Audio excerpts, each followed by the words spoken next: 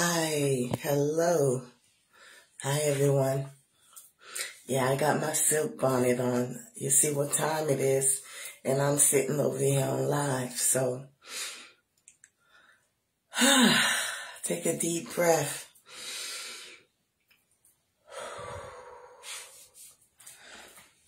I know how I roll, so bonnet, no bonnet, you know I was asleep. My hair's in braids any old way, so it don't even matter. But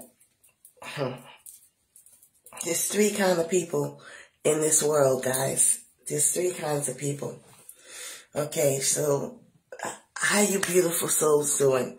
To the ones of you out there that actually have souls.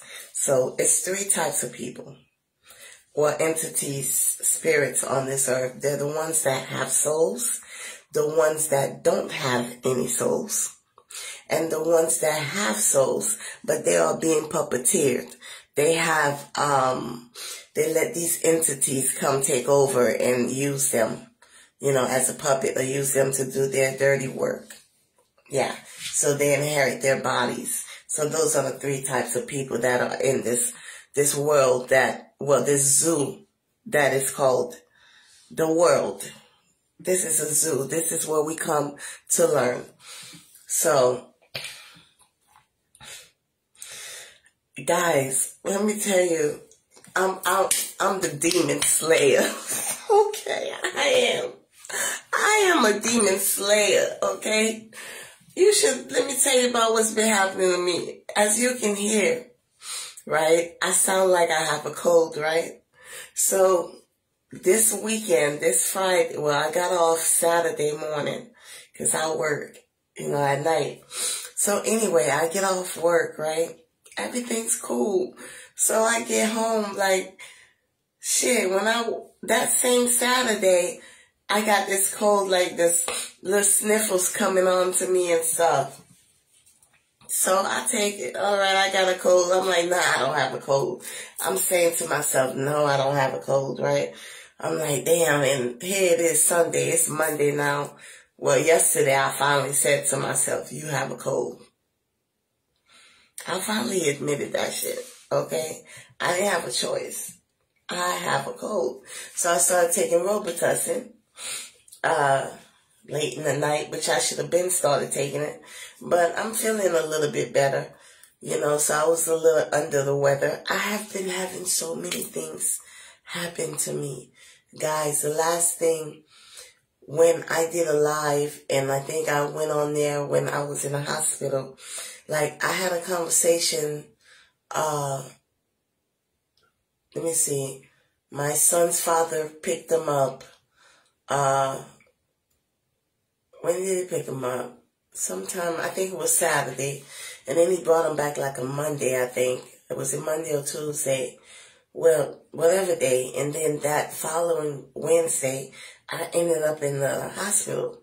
So my, my blood pressure was a little high and my heart rate was only beating 46 beats per minute.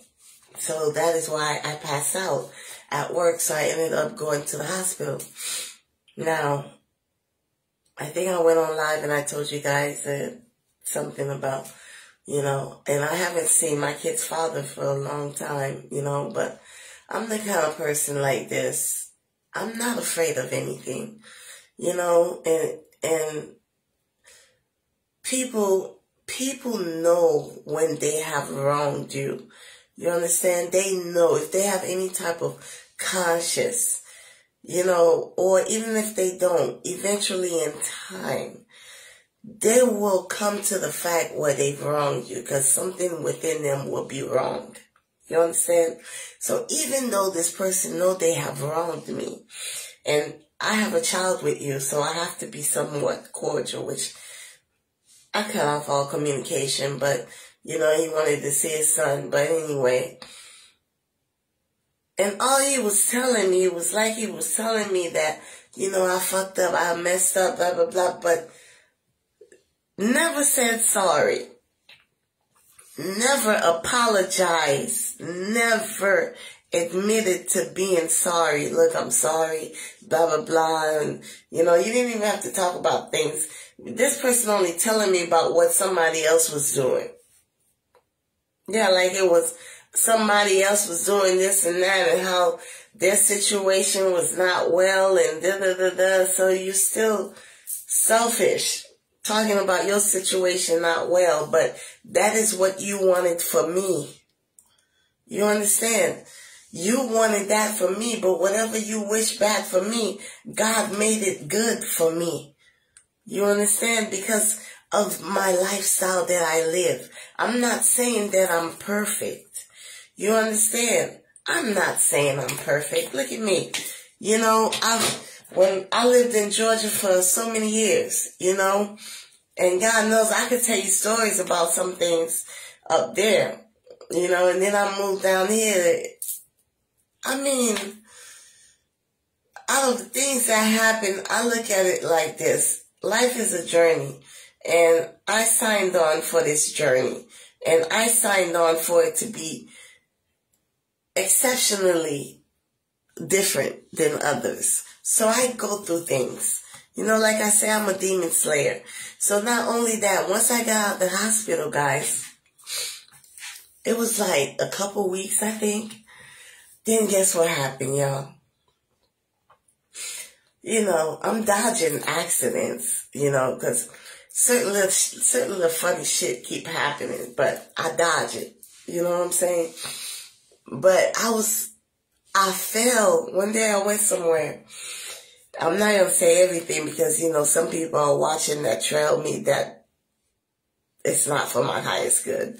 But anyway, I stepped on, um, something slippery. My left foot went straight forward.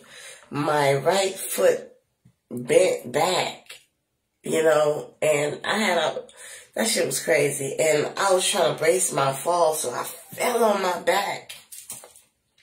So now here I am when I went to the hospital again. So I'm back in the hospital, y'all. So the doctor wrapping my, my leg and my knee because it's fucked up. I tore something. So I have to wear this big ass long brace.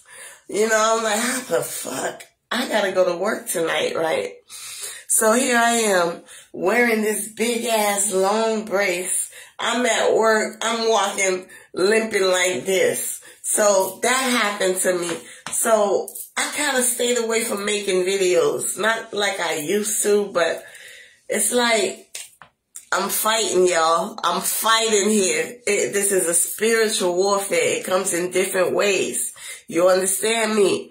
And, and, and, and, they coming for me. They coming for me and I'm fighting. You know, this is my life.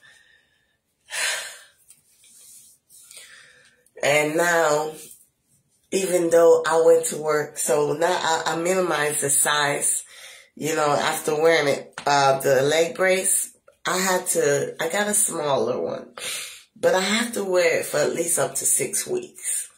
You know, yeah, up to six weeks.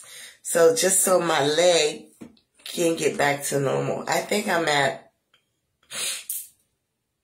I'm only at a week and a half, I think. So I still got like, damn.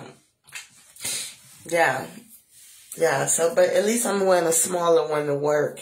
So, but after standing, even when I take the meds that they give me, after standing at work, you know, after being up about, what, six hours, seven hours, then, you know, the pain starts kicking back in. About, I say about, it's even before six.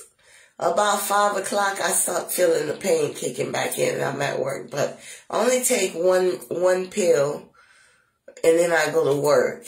You know, I take one pill, but I'm good. I got a, I got a cannabis license, y'all. I got, well, that's probably the only good thing. but I took that instead of, um, cause I had a few accidents in Georgia where I got hit by a car.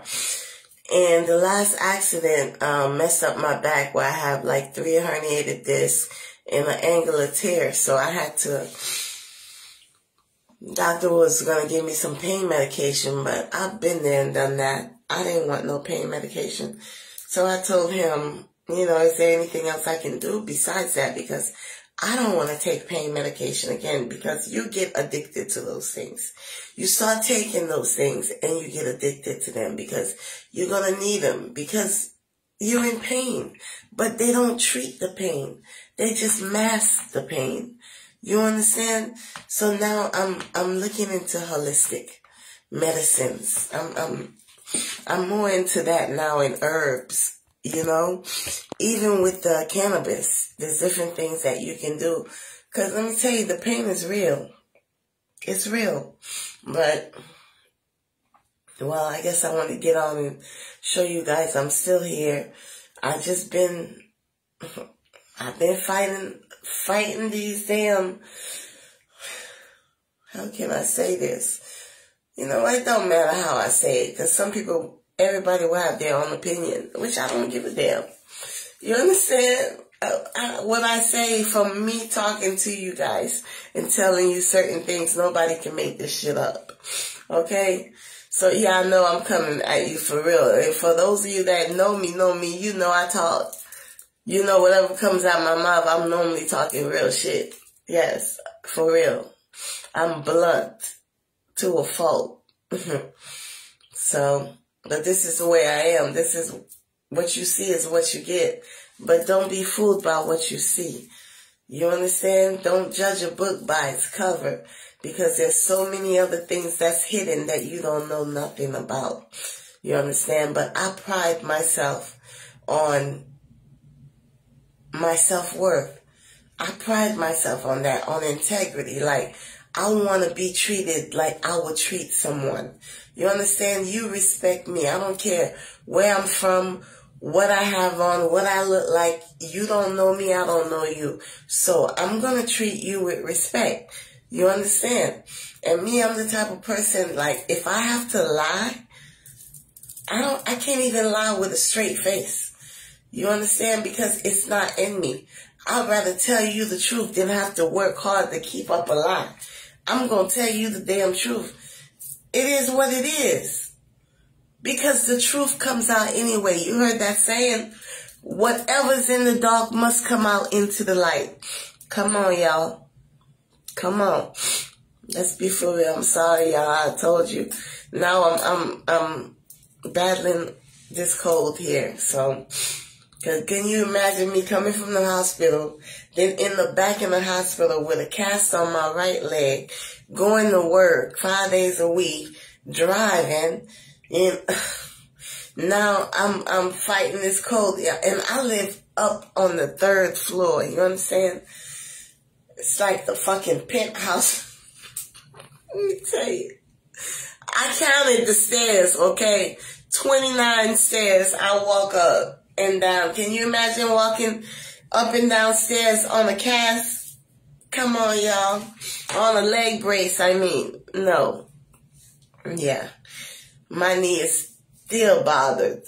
You know, after working so much, after working eight hours coming home, I take that brace off and I'm telling you, I have to like sit down. I have to just relax a bit and get in some hot water, put some Epsom salt in there and you just gotta do so many things because I, well, I feel I'm hopeful. I'm hopeful and I'm optimistic. Listen, my throat chakra, you know,